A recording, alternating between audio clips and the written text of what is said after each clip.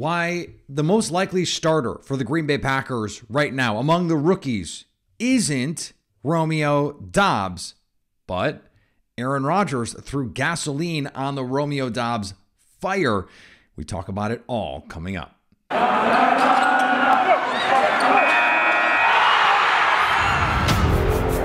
You are Locked On Packers, your daily Green Bay Packers podcast. Part of the Locked On Podcast Network. Your team every day. You are Locked On Packers, part of the Locked On Podcast Network, your team every day. I'm Peter Bukowski, and I cover the Packers for The Leap a newsletter I would love for you to subscribe to. You can follow me on Twitter, Peter underscore Bukowski. Follow the podcast on Twitter at Locked On Packers. Like us on Facebook. Subscribe to the podcast, iTunes, Spotify, Google Podcasts, wherever you find podcasts, you will find Locked On Packers, the number one Packers podcast on the internet. And the show for fans who know what happened. They want to know why and how. We are back today. Um, we took yesterday off. Um, I was dealing with uh, a family issue. And I want to thank everyone who reached out, who offered their support, who said, take your time, be with your family. That's what the most important thing is. You're absolutely right. So thank you for for giving me that space. Um, it is important to me that you guys understand that that you are important to me too, um, and and that I love doing this show. And the show is um, a, a an outlet for me. It is something that makes me happy, that helps me through difficult times, and, and I have gotten really incredible notes from people, messages. Hey, I was listening to your show when I was dealing with this thing, when I was in the hospital.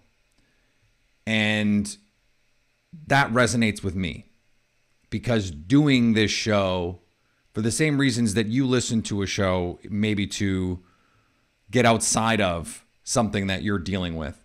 Um, there are certainly times in my life when I do it um, for the, for those same reasons, and and that's not why I do it, but I, it, it, helps me um, and is is cathartic for me. Sometimes it's cathartic just for dealing with a game or just for dealing with a topic, something that is frustrating. I get to get on the mic and I get to talk through it and I get to share that with you. And that connection is really important to me. So so thanks to everyone um, who who did reach out, and thanks to everyone who who is just um, patient with me as as my family works through this. Um, plenty to talk about. We missed a day, so stuff to catch up on. We're going to talk about Romeo Doubs, okay? I promise. We're going to talk about Romeo Doubs. We're going to save that. Let's start with the cliffhanger.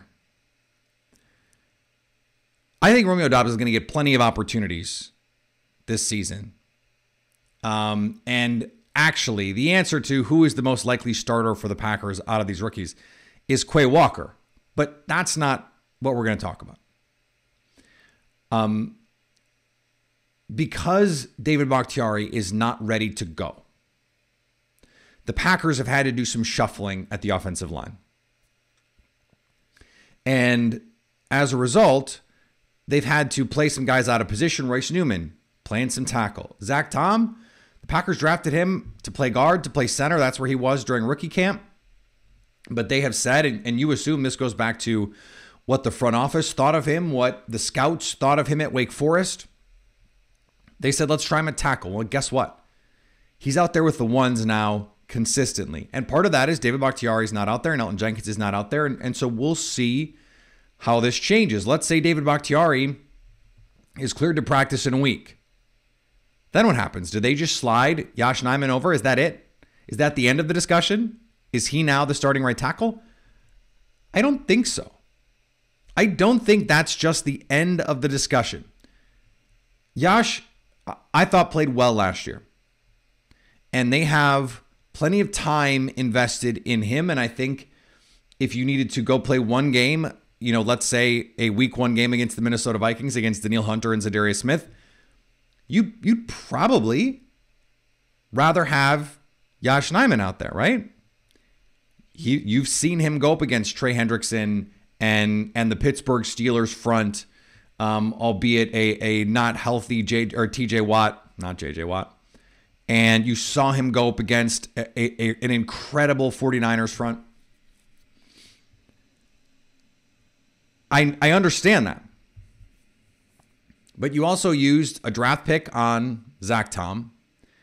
And even after changing his position, he's immediately, on day one of pads, immediately he's out there. So clearly you saw enough of him that you thought, okay, we think he can pass protect well enough that he can transition, he can handle that mental load of the transition out to tackle from the interior, center, guard. Maybe he is Elgton Jenkins and he can play all those spots. They clearly must think mentally he can handle it, and, and clearly he's proven he can because otherwise he wouldn't be out there. Royce Newman has gotten some run at that right tackle spot. Yosh Nijman has gotten some run at that right tackle spot. And it's interesting because I assumed that the plan here is Elgton Jenkins is not going to be ready for day one. David Bakhtiari is more likely to be ready for day one. And so, presumably, what you'd want to see is, and what you'd want to get is reps for Yosh at right tackle because he is your third tackle. He's going to be the guy to get those reps when Elgton Jenkins is not out there. Go from there. But we've seen Zach Tom play that right tackle spot a bunch with the ones. Now, Matt LaFleur, now with Adam Stenavich, the former offensive line coach, is now in the OC chair. How does that affect the way that you game plan all of these things? They have proven that they are going to put the best five out there, that they are going to say these are the, the best five guys, and, and we don't really care how much opportunities those players have had at those spots. If we think they can go out there and play, that's where they're going to be. So I am I am at once saying that I think it is useful that Zach Tom is getting those right tackle reps while also understanding that the Packers would probably be comfortable with Yosh at right tackle, with him getting very few of those right tackle reps in the preseason. Now, think back to what happened with Elgton Jenkins.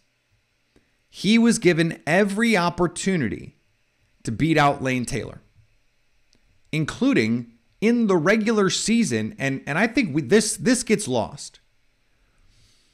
Matt LaFleur is a first year head coach in 2019. Aaron Rodgers is his quarterback. They just drafted Elgton Jenkins. He is a rookie. And they give him every opportunity to beat out a veteran interior offensive lineman to protect what was at the time a two time MVP. And he's out there in games in the regular season splitting reps. Now, part of that is Elgton Jenkins was really that good. Lane Taylor was just okay. But we're talking about a veteran.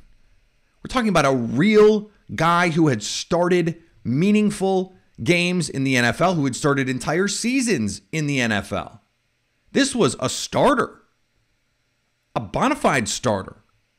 Not a high level one, but someone who was, I would say, not entrenched, but but a consistent starter over the last few years. And they gave Elgton Jen- Jenkins every opportunity to beat him out. That was a risk that Matt LaFleur took.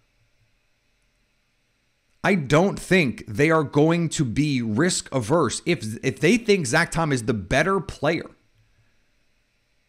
and they're going to give him every opportunity. They're giving him every opportunity to prove it. If he does, I don't think they're going to be afraid to say he is the best guy for this job in week one. We don't care if it is, you know, Alan Page. And and it's the purple people eaters. We're gonna play the best five. And if Zach Tom, who is a rookie, is one of those best five, we don't care. We want the best five. That's what they're going to do. That's what they should do. And I'm not going to be surprised at all if he plays well in the preseason. And Elgton Jenkins can't go week one, which, by the way, is not something I'm fully ready to take for granted yet. Then I think there is a very good chance he starts week one for the Green Bay Packers. Now, we're going to talk about the other fourth round pick who has a chance to start for the Green Bay Packers. We're going to do that in just a second. Before we do, let's talk about Bet Online, the fastest and easiest way to check on all of your betting needs. Find your favorite sports and events at the number one online source for odds, lines, and games. So many great NFL futures right now. The Packers over, hammer it. Romeo Doubs, rookie of the year. Hope you didn't miss it. Was 100 to 1 like a week ago. It's already 50 to 1 a lot of places. Go get it now or it's to it's to be 25 to 1 in 2 weeks. The secret is out. Head to Bet Online or use your mobile device to learn more about the trends and action. Bet Online, where the game starts. As a as a blog boy, people say blogger. I don't even I don't I haven't written a blog post in 2 years. But uh as a as an analyst, as a podcaster, um, I I get accused of hyping up players needlessly, of of getting people excited, of being an optimist for no reason. I'm reading a really interesting book.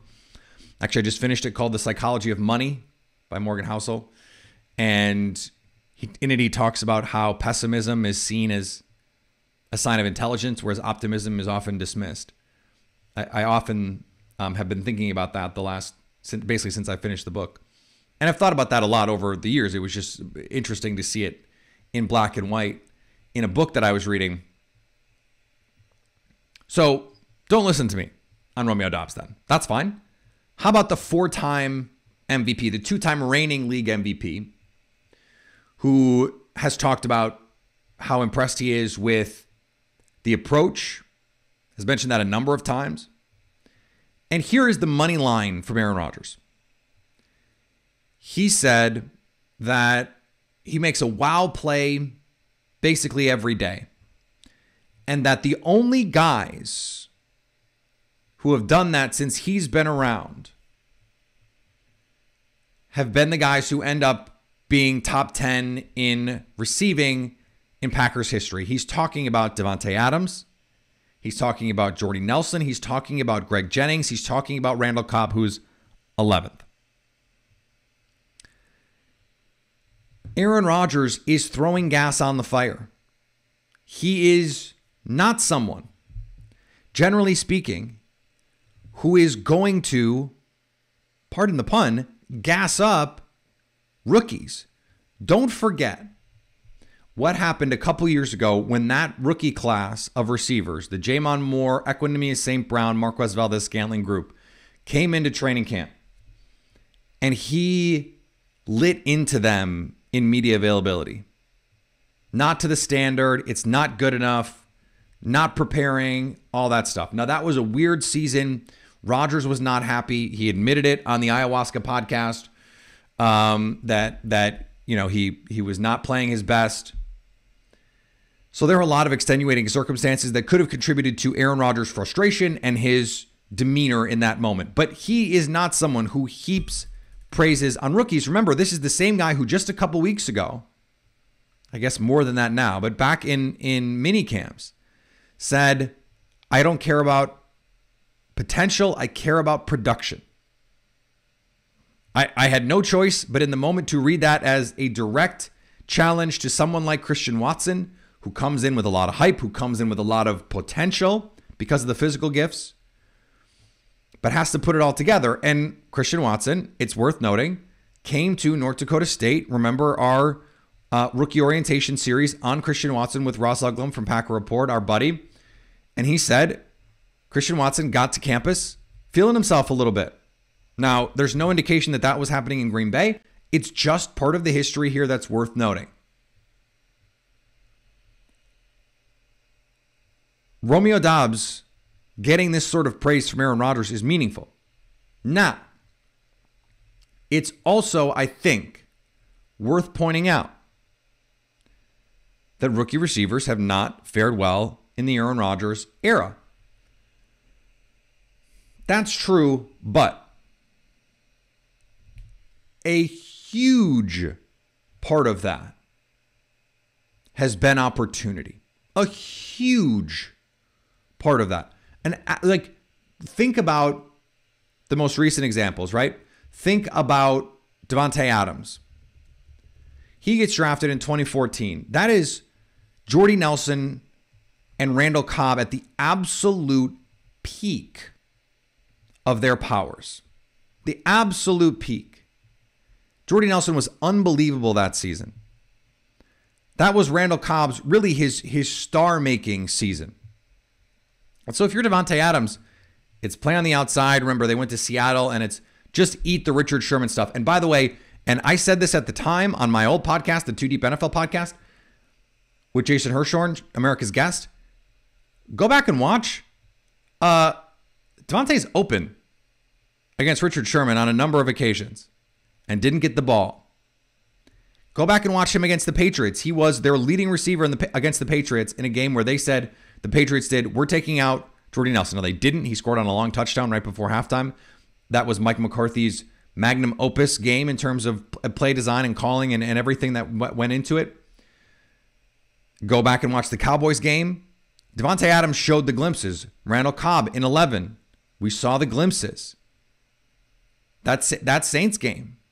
Now you go back and you look at the stats for the season, not great. Okay. Go back and look at who was on that team. That's Jordy Nelson, that's Greg Jennings, that's James Jones, that's Jermichael Finley.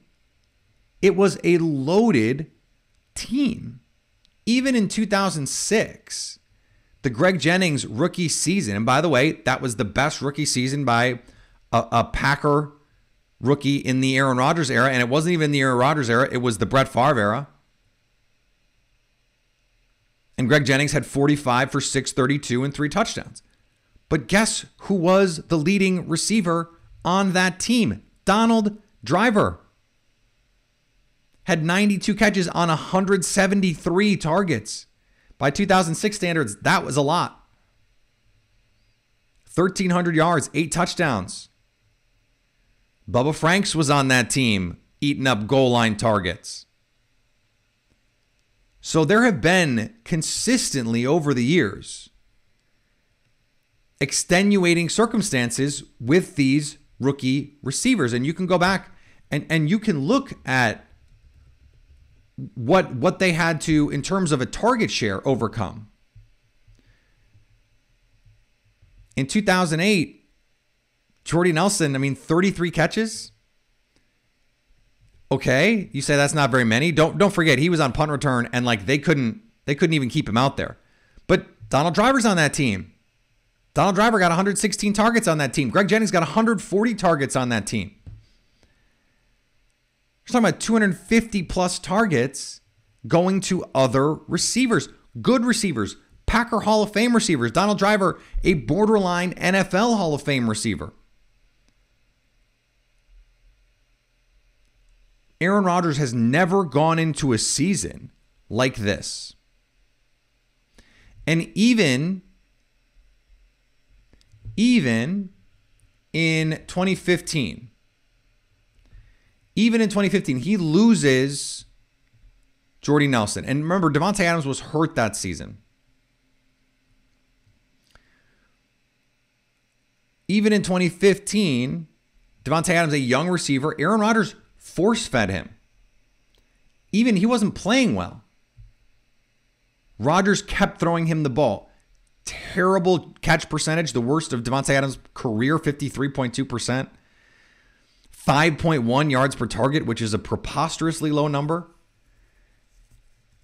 9.7 yards per reception. I mean, that those are tight end numbers.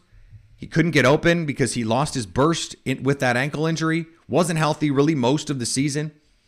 But guess what? Aaron Rodgers kept getting him the ball 94 targets in just 12 starts. He would have gotten, you know, well over 110, 120 plus had he started all of the games And that was in a year where Rodgers didn't have any choice. He had to throw Davante Adams the ball. So I think these fears that Aaron Rodgers is just not going to want to throw these rookies the ball. He does not have a choice. Now, Sammy Watkins is on this team. How many games do you think he's going to play? Allen Lazard is on this team. I think he's going to be a very good player. I think, you know, we've talked about the potential there. I think a thousand yard season is is very well in range for him if he plays healthy. I I, I said on this show, if he plays 17 games, he's going to be a thousand yard receiver. I believe that. 80 for 1110 touchdowns. That's on that's on the board. Randall Cobb, is he going to make it through the season? Amari Rogers, what has he shown? Romeo Doubs could get 80, 100 targets this year. Especially when you're getting this kind of a vote of confidence from Aaron Rodgers. This is not just media hype. And you know, I had some people accuse the media of, "Oh, we're just you're just it's part of the narrative. The team wants you to, to build that narrative." It's like, "No, no. People are using their eyes. These practices are open to the public." I mean, there was a clip of, Doubs beating Eric Stokes that was taken by a fan because media not allowed to take video on the sidelines. Now, don't get me started on the stupidity of that whole thing, but fans can see. They're sold out of Romeo Doubs jerseys in the Packer Pro Shop right now. And Aaron freaking Rodgers is talking about how the only guys who have produced like this to this point in camp since he's been there, and remember, he's been there quite a while now, a decade and a half, have been the best receivers that he's played with. The Davante Adams, the Jordy Nelsons, the Randall Cobbs, the Greg Jennings. Those are the only guys who have done what Romeo Doubs is doing. Now, is that a guarantee that he's going to be one of those guys? Of course it isn't. But I think this is good context to, to remind everyone, even me, I, I, I try to check myself. Okay, where where are my own biases speaking in? Am I more excited about Romeo Doubs because I was loving the draft selection because I loved him pre-draft because I I said I thought the Packers were going to draft him.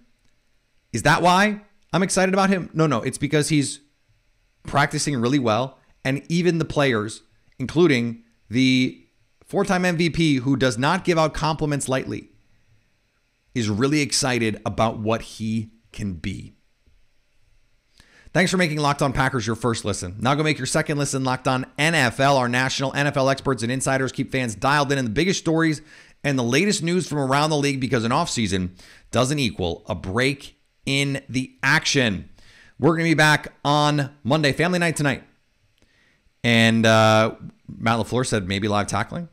We'll see. So plenty of stuff to get to on Monday. Back at it five days a week next week. Let's have some fun, um, and let's uh, let's enjoy. Let's enjoy because Aaron Rodgers was asked, "Are you gonna be playing at 45?" He laughed and said, "No way." Not very many Aaron Rodgers seasons left, so let's enjoy these moments now. I think that's a really important thing um, because you never know when they're gonna go. Davante Adams, all of a sudden, it seems like he's gonna be a Packer for life. He wants out, so enjoy these moments when you can get them um, every day not just with your your favorite team, but with your family and your friends as well. It's it's important that we all do that. All right, follow me on Twitter, Peter underscore Bukowski. Follow the podcast on Twitter at Locked On Packers. Like us on Facebook. Subscribe to the podcast, iTunes, Spotify, Google Podcasts, wherever you find podcasts, you will find Locked On Packers. And anytime you want to hit us up on the Locked On Packers fan hotline, you can do that 920 341 3775 to stay Locked On Packers.